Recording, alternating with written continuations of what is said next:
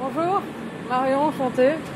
Bien. On a les beaux vélos. C'est le vélo pour ce matin. Et l'après-midi, on a un autre vélo à Bongrec. Ok, d'accord. D'accord On a des véloroutes superbes, donc euh, on peut partir Ouais. comme ça. Ça marche, ok. Oui.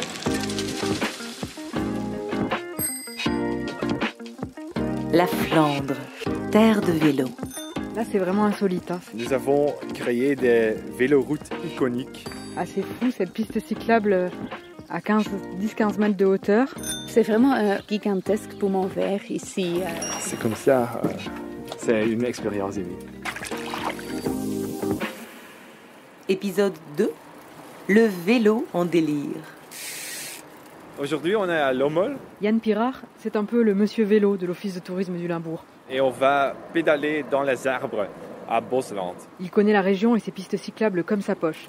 Je suis donc entre de bonnes mains pour découvrir cette partie-là du pays à vélo. Bosland, c'est la région ici, avec beaucoup de forêts.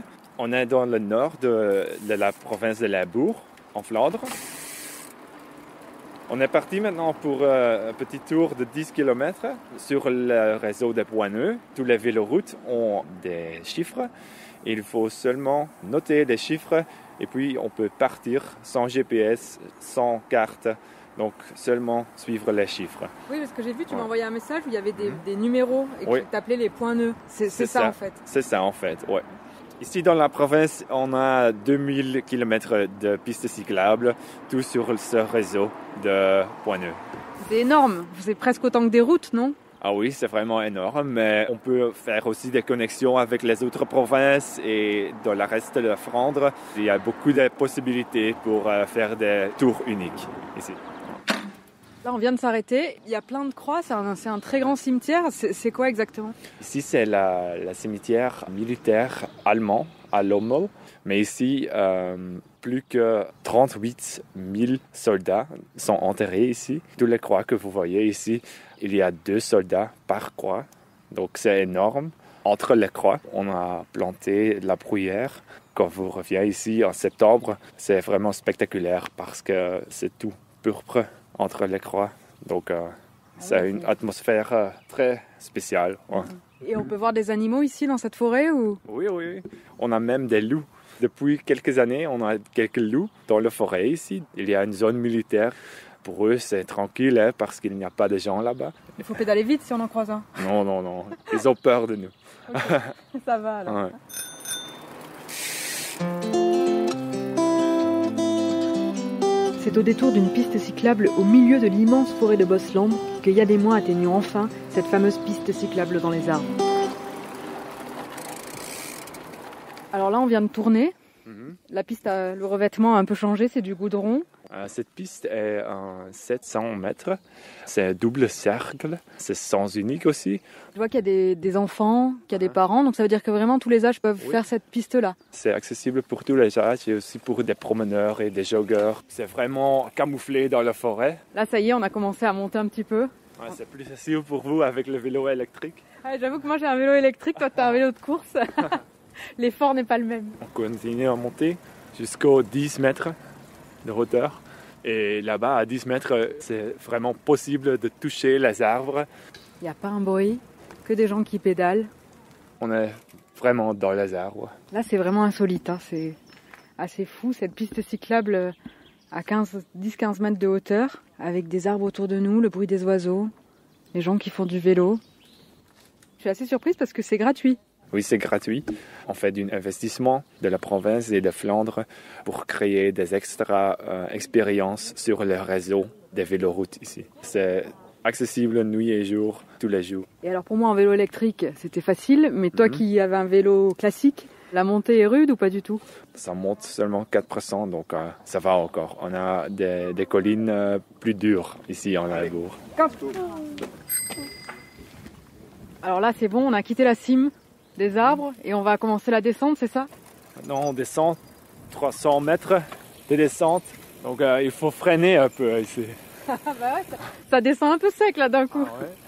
Et il n'y a pas d'autres cyclistes, donc euh, ça ne déroge pas. Il y a un petit concours ici dans la région pour faire euh, la piste de 700 mètres le plus euh, fois. Donc, euh, il y a des gens qui ont fait plus que 100 km sur la piste seulement. Donc, euh, c'est 120 tours peut-être? La même journée, ils tournent. Oui, la même journée Comme en- des hamsters. dans une étape. oui, oui, c'est ça.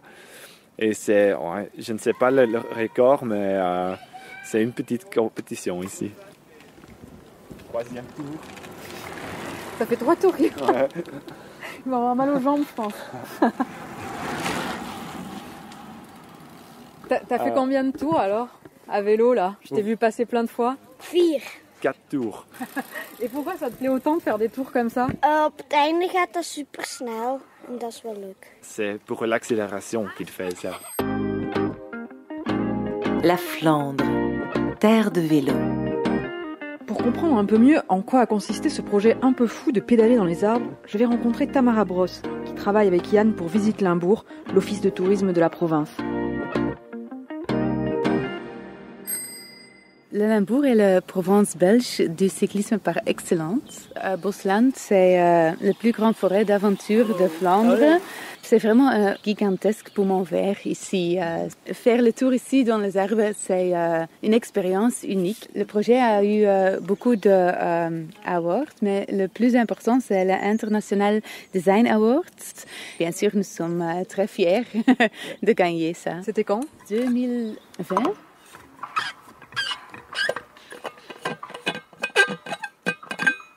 Après toutes ces émotions, il est temps pour Yann et moi de profiter d'un pique-nique bien mérité. J'ai pris quelques petits pains. L'après-midi qui nous attend promet d'être elle aussi riche en découvertes, mais je n'en dis pas plus pour l'instant. Ah ouais, t'as équipé toute ta voiture pour, Ouais, pour dormir et faire du vélo, quoi. ouais, c'est ça. Ouais, c'est trop bien. En fait, tu peux dormir, t'as des rangements et t'as de quoi mettre ton vélo. Ouais. Oui, et c'est aussi possible de un lit double. Ah, tu peux faire un Ouais. double. Donc comme ça, tu peux te balader à vélo un peu partout, quoi. Ouais. C'est pas une voiture, c'est liberté. hein. Alors on va euh, Bokrek. C'est en fait la région avec beaucoup des étangs. Et là, à Bokrek, on va traverser un de ces étangs avec euh, en fait l'eau au niveau des yeux. D'accord. Donc, on va pédaler sur l'eau. Au-dessous de, de l'eau en fait. hein. Et comment c'est possible? Oui, vous allez voir. c'est encore voir une surprise. Ok. Donc là, on vient d'arriver au domaine de Beaucrec, qui est un domaine en pleine nature, où il y a euh, beaucoup de gens, et beaucoup de gens qui font du vélo. Il y a un loueur de vélo d'ailleurs, où on vient de retirer mon vélo électrique. Et on va se promener un petit peu pour découvrir apparemment des paysages très variés. C'est-à-dire que là, on est dans une forêt un petit peu comme euh, celle de Bosland, avec des grands arbres. Mais apparemment, il y a aussi tout un paysage euh, avec des étangs un peu plus ouverts, euh, avec un peu moins d'arbres. Et euh, il y a également la possibilité de pédaler sur l'eau. Ça, j'avoue que j'ai assez hâte de voir de quoi il s'agit parce que ça m'intrigue beaucoup. On a fait un petit stop ici, dans la réserve naturelle, le Teut. Il y a des moutons, en fait, les moutons qui broutent la bruyère pour maintenir la lande. C'est aussi, ils sont à plus que 100 moutons, donc c'est un troupeau euh, gigantesque, c'est- impressionnant. Oui, parce que là, le, le- le paysage a un petit peu changé. Euh, on était dans une forêt, on pédalait au milieu des arbres, Ouais. et d'un coup, euh, on vient d'entrer vraiment dans un paysage où c'est une vue super dégagée. Ouais. Euh, Il y a peu d'arbres, beaucoup d'eau, beaucoup d'étangs, et, et de la bruyère partout. C'est ça qu'on appelle la lande, c'est ça? Oui, c'est ça la lande.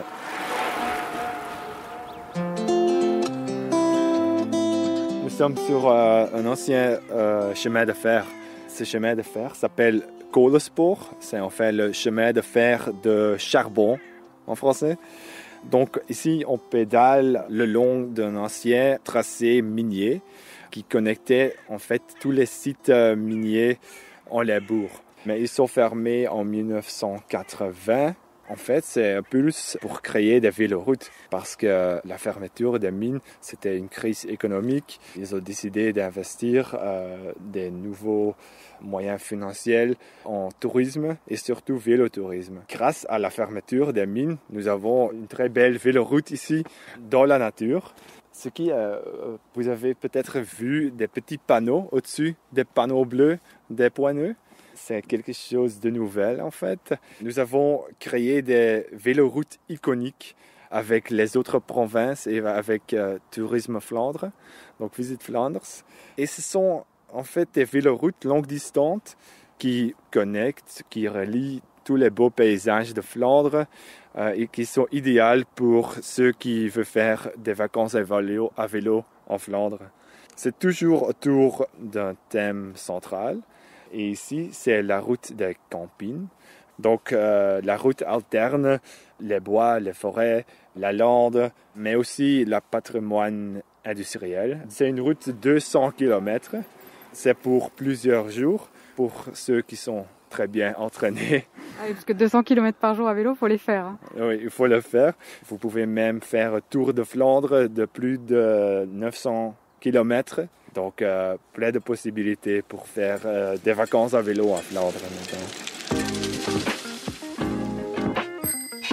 Donc là, on vient de s'arrêter devant un, un panneau. Le vélo en délire. On vient de poser les vélos. Tu peux me dire ce qu'il y a écrit, Yann, là? Ah, c'est fietsen door het water. C'est traverser l'eau à vélo. Et nous sommes ici à Bokrijk, au point nœud 91. C'est notre premier projet de Visit Limburg. On voit euh, un étang. Et avant, il y avait piste cyclable normale. Ils ont creusé une piste cyclable à l'intérieur de l'étang, ce qui fait que Ouais. quand on, on pédale, on est au niveau de l'eau, c'est ça? Oui, c'est ça.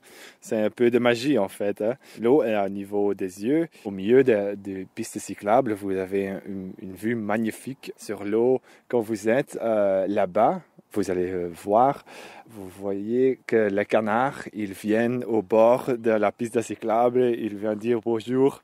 Et c'est le moment idéal pour prendre une photo. Donc, euh, et c'est ça que tous les gens font ici. Donc, vous le voyez. Ouais, Le canard est en train de s'approcher des cyclistes qui Uh-huh. prennent des selfies. Oui. Fais une photo, s'il vous plaît. Comment vous trouvez l'endroit alors C'est splendide ici. C'est splendide. Vous êtes de où là On est de France. Ah, ça s'entend. On vient de, de B-Mine à Beringen, vélo. On avait vu déjà des photos euh, sur le net et compagnie, donc on a pris tous les, les knooppunts, les points nœuds. Ah, C'est vraiment un chouette endroit. C'est bizarre, non, d'être euh, comme ça à, Ouais. à 1m40 euh, Ouais, mais je m'attendais à ce que l'eau soit, soit moins haut que ça en fait. Ouais, 1m40, c'est c'est chouette, c'est- c'est pas mal. hein. Ouais, c'est vraiment sympa. Il y a beaucoup en Belgique. Hein. Je n'en doute pas. C'est pas les seuls. Maintenant, il faut rouler vers pédaler dans les arbres. Oui, ouais, on, a, on avait regardé, mais est-ce que c'est pas vraiment notre parcours? Ah, Ce sera pour l'année prochaine, à mon avis. Ah, d'accord. Parce que- Bucket list. Moi, j'ai ma belle-sœur qui habite Lomel, donc euh, je connais un petit peu le coin aussi. Et c'est aussi des, des beaux endroits dans les, dans les bois. Dans les... Mhm. Mais on a découvert les, les knooppunts ici il y, a, il y a un peu plus d'un an. Et c'est, c'est vraiment chouette euh, Ouais. cet, cet aménagement pour le vélo. Ouais. En fait, c'est des, vous avez tous des panneaux. En Wallonie, c'est plus des verts, verts et blancs, peu importe si c'est bleu et blanc. Et vous faites votre itinéraire sur euh, fitsnet.be, vous cliquez sur un, un point, vous mettez un autre point et vous, il vous suit le parcours. Et vous suivez le- le- tous les panneaux. À chaque carrefour, il y a, il y a le panneau qu'il faut et poursuivre son itinéraire. quoi. Ouais, ça a l'air pratique. C'est vraiment bien. Allez, bonne journée. Merci. Oui, bonne journée, bonne route. Il y a vraiment une descente. Et puis hop, on se retrouve euh, la tête au niveau de l'eau et, et les pieds comme un petit peu euh, si on était à l'intérieur de l'étang alors qu'on on pédale. Donc là, on est en train de, rentrer dans la piste cyclable. Et donc de, traverser l'eau littéralement. C'est assez marrant. Il est là le canard. Donc là, on est au milieu de l'étang, quoi, à vélo. Vous pouvez toucher l'eau. C'est comme ça. euh, c'est une expérience unique. La piste mesure combien de, Euh, de la piste ici, c'est 200 mètres. On a submergé. Ici, il y a environ 1 mètre 40 sous le niveau de l'eau. C'est quoi ça qu'on aperçoit là-bas? Là-bas, vous voyez un point de vue, un point de vue qu'on a installé dans une ancienne ferme. Quand vous êtes là, sur ce point de vue, euh, vous voyez les cyclistes ici dans la piste cyclable, mais vous voyez seulement la tête. Donc, euh, vous voyez le canard, mais aussi la tête des cyclistes. C'est une vue très drôle. Est-ce qu'on arrive à distinguer qui est le cycliste, qui est le canard? Oui, oui. euh, les cyclistes, ils prennent des selfies, le canard, il ne prend pas.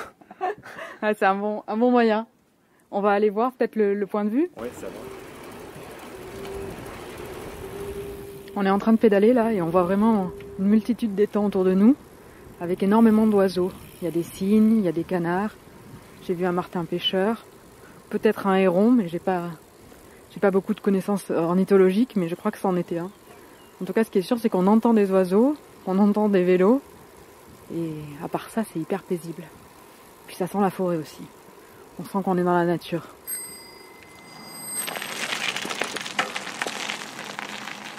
Ah, Aujourd'hui, j'ai 45 km. Donc moi aussi, j'ai fait 45 km à vélo ou un peu moins? Un peu moins. C'est euh, 35 km pour vous. Ouais. Merci pour ce tour du Limbourg. C'était super. À la prochaine, du coup. À la prochaine.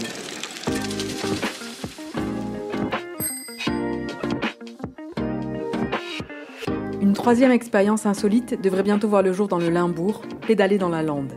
En attendant, dans le prochain épisode, Rando Vélo Bière, je vous retrouve dans la région de Popringue pour trinquer à la santé du cyclisme en Flandre.